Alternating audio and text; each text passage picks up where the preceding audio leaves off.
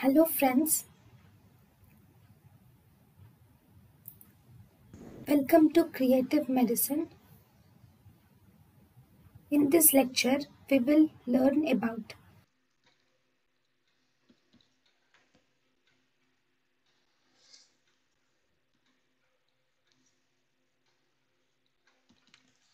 upper GI bleeding. What is the management of upper GI bleeding? So, in the management of upper GI bleeding,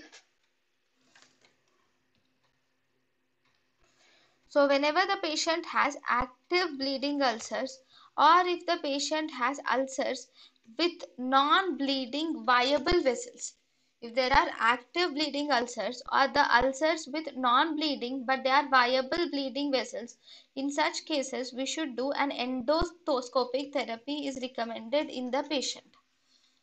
Then.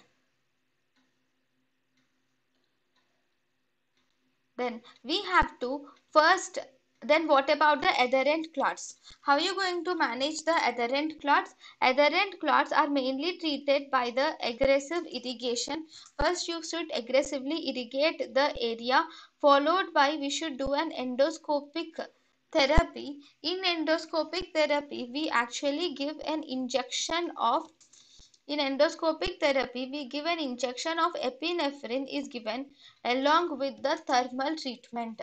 So we give injection of epinephrine with thermal treatment is given to the patient has uh, for adherent clot. Then on endoscopy, the most frequent characteristic of bleeding peptic ulcers is presence of uh, clean base that is in stage 3 that is nothing but stage 3 or clean base is the most frequent type of endoscopic characteristics then